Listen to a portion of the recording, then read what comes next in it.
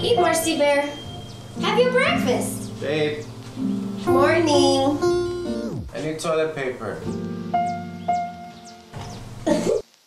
Really? But no, that's silly. What? That's silly. You really got me! Oh, they Poop there, there, there, and meet mama. You'll be pooping everywhere. There. Get the camera out of my face because I need time to wake up. So no, stop it. No. So handsome in the That's too much. Where's the other toilet paper? So, as a mother of a dog, I must trim her. Marcy!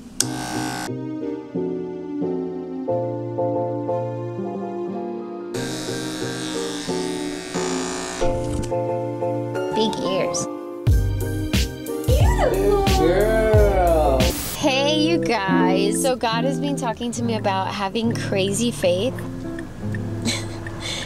Remember I prayed for someone's leg. I was in Ross and his leg was in a cast, and I just held his hand. I told him to put his hand on the counter, and I started talking to that leg, telling it to be healed.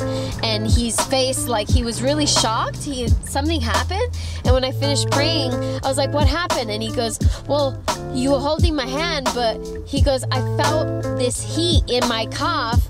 And he goes, My calf doesn't hurt anymore. I had this horrible pain. I didn't even have to touch it. And then when after I prayed, he's like, You're crazy. Surprise birthday party. Party. You're a crazy one. And I was like, Yeah. I guess. Yeah, I am. Be crazy, guys. Do it. Do it.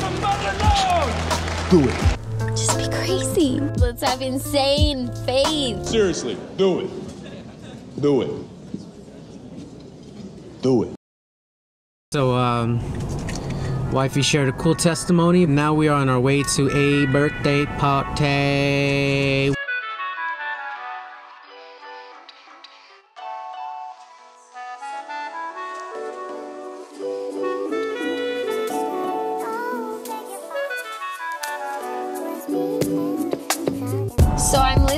To some uh, teaching, and I was just thinking, you know, some of the things that they say, I know some people are uncomfortable with. But the thing is, like, how many people were uncomfortable around Jesus? And how many things did Jesus say that were crazy town?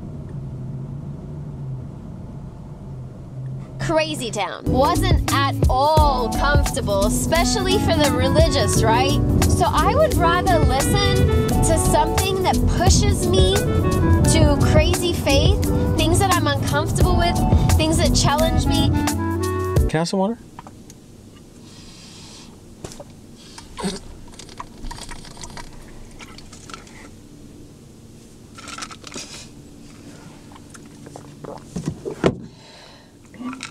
Thanks for your spit. me things that I have to think about and be like, whoa, that's like beyond my mind. I'd rather be thinking on those things, right? Rather than listening to things that make sense to me completely, that I'm comfortable with, that don't challenge me, and oh yeah, that makes sense. Oh yeah, I can do that. Like, no, I want crazy faith. Maybe there's no one here. Maybe they're surprising us. That'd be amazing out.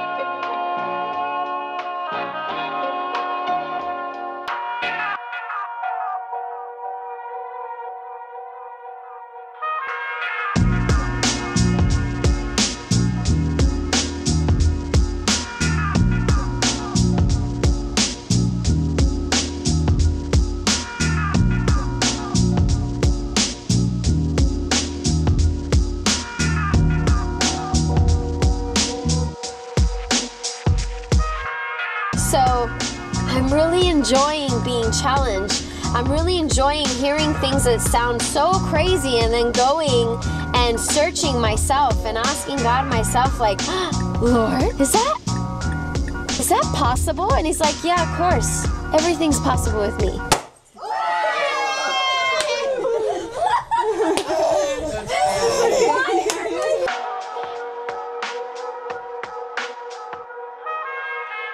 Food for thought, guys. Food for thought.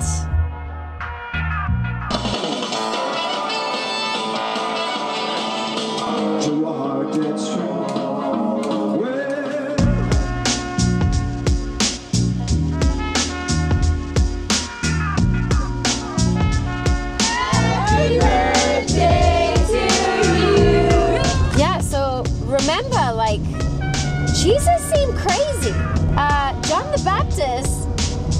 was crazy. Like, eating bugs and stuff. If you want to achieve great things, put yourself around people that want to achieve great things, people that are ahead of you, people that have done it. So we are finally leaving the party. and my wife, she likes to find gifts that don't belong to her. Hey, that's not nice. Wow. Choose to put myself around crazy faith and believe a God that is more real than this video. I might as well go with everything that he says and just challenge, you know? You'd be crazy not to. Ah, so what do you do with all of that, guys? What do you think? What would you do if Jesus asked you to get out of the boat? Would you get out of the boat?